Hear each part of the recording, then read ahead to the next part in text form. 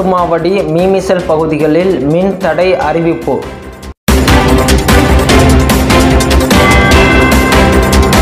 நாகுடி கொடிக்குளம் ஆவுடையார் கோயில் அமரடக்கி ஆகிய துணை மின் நிலையங்களில் மாதாந்திர பராமரிப்பு பணிகள் நடைபெற இருப்பதால் இங்கிருந்து மின் விநியோகம் பெறப்படும் பகுதிகளான கட்டுமாவடி மணமேல்குடி அம்மாப்பட்டினம் கோட்டைப்பட்டினம் ஜெகதாப்பட்டினம் மீமிசல் நாகுடி அரசர்குளம் சுப்பிரமணியபுரம் திருவாப்பாடி ஆவுடையார் கோயில் கரூர் திருப்பணவாசல் பொன்பேத்தி அமரடக்கி அம்பலவானேந்தல் ஆகிய பகுதிகளில் காலை ஒன்பது மணி முதல் மாலை ஐந்து மணி வரை மின் விநியோகம் இருக்காது என்று அறந்தாங்கி மின் வாரிய உதவி செயற்பொறியாளர் லூர்து சகாயராஜ் தெரிவித்துள்ளார்.